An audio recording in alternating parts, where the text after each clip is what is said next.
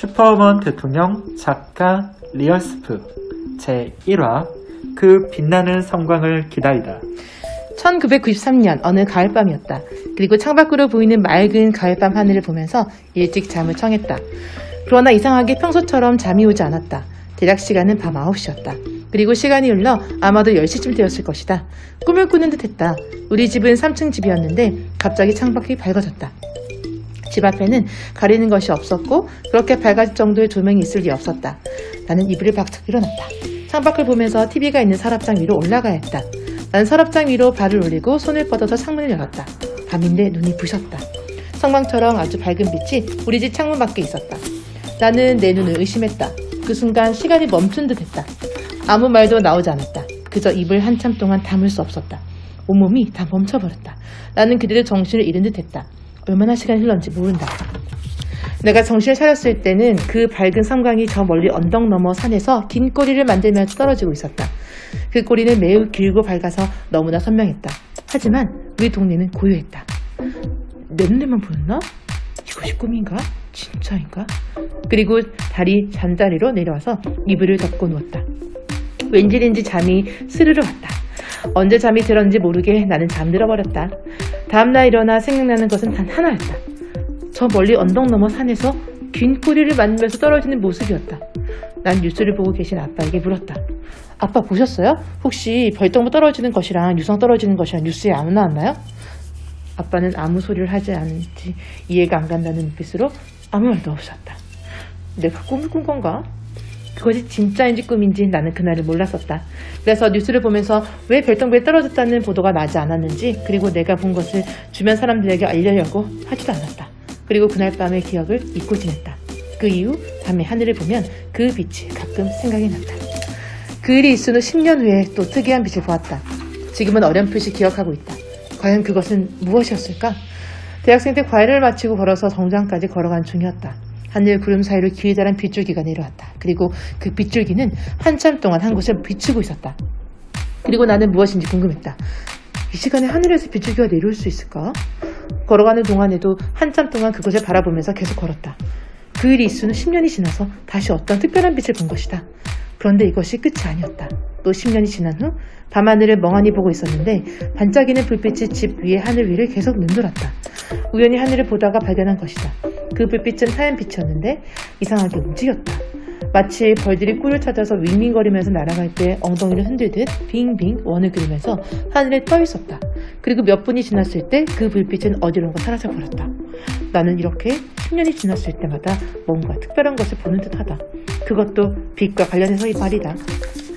처음으로 그 성광을 본 이후로 10년에 한 번꼴로 뭔가 알 수 없는 독특한 빛을 보고 있었다. 그 계산으로 따지면 앞으로 1년 안에 또 뭔가 특별한 빛을 보게 될 것이다. 예전에는 지구와 같이 생명체가 살 수 있는 행성이 유일하게 하나일까 하면서 외계인이 있을 것이라고 생각했다. 예수님을 믿고 난 이후에는 어, 외계인에 대한 존재는 믿지 않았다. 그러나 나는 다른 하나의 지구와 같은 행성이 존재하고 있는 것은 아닐까 상상을 해본다. 정말 이렇게 드넓은 우주 공간에 사람은 지구에만 있는 것일까? 하나님께 기도해볼까? 하나님, 정말 이 세상에 사람이란 존재를 우리만 만들어 놓으셨나요? 전지 전능한 하나님, 알려주세요. 네? 제발요. 궁금해 하나님. 점점점점. 언제나 그렇듯이 하나님은 잠잠하시다. 그럼 그렇지. 어찌되었든지 이제 1년도 안 남은 그 순간이 다가오고 있다. 이번에는 어떠한 현상을 볼 수 있을까? 난 이런 현상들에 대해 그동안 뭔가 남겨놓아야겠다는 생각을 하지 못한 채 그저 그 순간에 집중했었다. 이번에는 그 순간에 포착하게 된다면 반드시 그 순간을 사진이라 찍어서 남겨놓기로 했다. 그게 무슨 현상인지 알아볼 것이다. 아니, 뉴스에 제보를 해서 전문가가 알아볼 수 있게 해서 어떤 현상인지 밝혀내는 것도 좋은 방법이겠다. 궁금했던 것이 내가 아닌 다른 사람들도 볼 수 있는 현상인지 밝혀보고 싶었다. 기다리자, 그 순간을. 그런데 여기 잠깐? 나는, 나는 뭐한 사람이지? 내 이름은 박진국이다. 유명한 개그맨 김국진 씨와 이름이 비슷해서 자주 놀림을 받기도 했다. 이름을 잘 기억해 주셔서 좋았지만 늘 이름을, 이름을 거꾸로 얘기해 주시는 선생님이 계셨다. 특히 중학교 때 음악 선생님이 별명이 병아리였다. 나는 병아리 선생님의 특이한 말투와 행동을 잘 따라했고 아이들이 좋아했다. 한 번은 들켜서 음악 선생님께 혼난 적이 있는데 그때 나를 국진이라고 부르셨다. 국진아 아, 무튼 진국이란 이름이 늘 아쉬, 이슈였다. 나는 이름을 바꿔야 하나 심각하게 고민한 적도 있었다. 아무튼 나는 그렇게 대단한 사람도 아니고 그렇다고 아주 평범한 사람도 아니다. 그저 집에서도 순정적으로 시키는 거다 했다. 어른들이 보시기에 크게 벗어난 행동을 하지 않았고 오히려 더 성실하게 생활을 했다. 어, 난 부모님이 하라는 거 다 하면서 주변 사람들 비유 맞추면서 최대한 온순하게 살았다. 그런데 내 속에는 언제나 끓어오르는 무언가가 있었다. 바로 개그우먼이 되고 싶었던 것이다. 어릴 때부터 노래와 춤을 잘 춰서 어른들을 많이 좋아해 줬다. 그럴 때면 만 원짜리 지폐에 침을 붙여서 내 이마에 붙여주었다. 이모들이 너무 좋아해 주었다. 이처럼 나는 끼를 타고났다고 할 수 있었다. 그러나 나는 개그우먼이 되어서 잘 웃긴 사람이 되고 싶었다. 하지만 연예인이 갑자기 되겠다고 하면 부모님은 반대하실 것이다. 그래서 나는 어릴 때부터 꿈이었던 개그맨 시험을 부모님 몰래 준비했다. 그런데 이게 웬 경사인가? 그렇게 어려운 공채 개그맨 시험을 덜컥 붙어버린 것이다. 선배들이 내가 기생충 흉내 내면서 오디션을 봤을 때 물건이 맞곤 했다고 했다. 그리고 나는 TV에 나오게 되면 당당하게 개그맨 시험에 합격한 것을 아빠에게 알려주려고 했다. 상황은 이렇다. 아빠와 함께 TV를 보다가 내가 나오는 프로그램을 보고 있는 중이다. 드디어 내가 나온다. 아버지가 고개를 갸우뚱하면서 보신다. 오 이거 중국인이 아니가 어, 그렇게 말씀하시면 그때 나는 당당하게 네!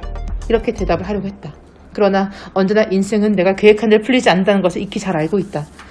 나는 좀 늦은 나이에 개그맨이 되었다. 그러다 보니 한참 어린 개그맨 선배님들에게 굽신거리며 코너 하나로 더 함께하려고 노력했다. 가진 심부름을 다 했다. 그렇지만 나도 사람이었다. 가끔 나도 모르게 뿜어져 나오는 예민함이 있었다. 그것이 화근이었다. 아마도 타고난 아티스트 기질이 있어서가 아닐까 믿고 있다. 아니 말고 그 예민함으로 일어난 사건만 없었어도 그 사건 이후 난 이렇게 어려운 개그맨 시험 합격하고도 TV에 한번 나오지 못하고 안개처럼 사라졌다.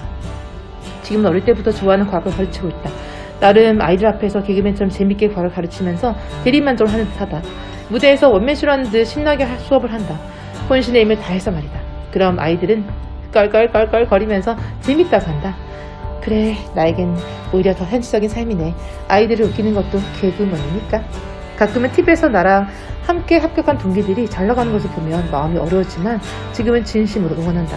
내가 왕년에 개그우먼이었다는 사실을 아이들에게 얘기해도 믿지 않는다. 농담하는 줄 안다. 증거가 없으니 어쩔 수 없다. 나란 사람은 이렇게 살고 있다. 실험하다가 희하게 옷에 묻은 얼룩 때문에 실험복이 남만하지 않다도 괜찮다. 아이들과 함께 신나는 실험하면서 나름 즐기고 있다. 유튜브도 찍으면서 말이다. 이게 나이다. 그저 평범한 나의 일상이다. 다를 다시 본론으로 들어와서 내가 기다리던 그 순간이 또 나타날 때가 되었다. 그 빛을 볼 때가 얼마 안 남았다. 이번엔 마음에 단단히 먹고 기다리고 있다. 그리고 나타나기만 하면 해. 너 누구야? 하고 묻고 싶다. 도대체 당신이 나에게 하고 싶은 말이 뭐요? 하고 말이다. 이렇게 혼자 멍 때리고 앉아 있는데 하나이가 말똥말똥한 눈으로 내 앞에 서 있다. 선생님 들려주세요 궁금해요 그래서 그 다음에 어떻게 되는데요? 가끔 내가 개그우먼이었다는 사실 진작에 믿어준 아이가 있었다. 쌤지 같은데? 선생님 제발요 귀여운 아이의 애교에 넘어간다. 알겠어. 그 다음 얘기를 해줄게. 그때 그 사건을 진지하게 이야기해준다. 그 다음엔 어떻게 되었냐면, 다음 이야기를 듣기 위해서 차츰차츰 한두 명씩 더 모여들고 있다. 아, 제 2화의 계속